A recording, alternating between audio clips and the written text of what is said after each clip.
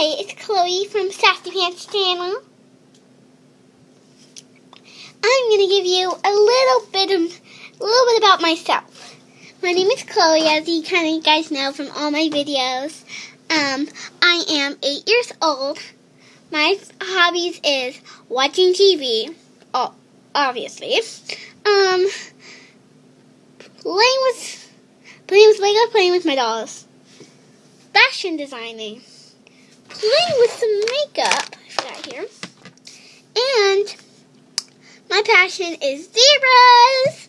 So comment down below what what you guys like.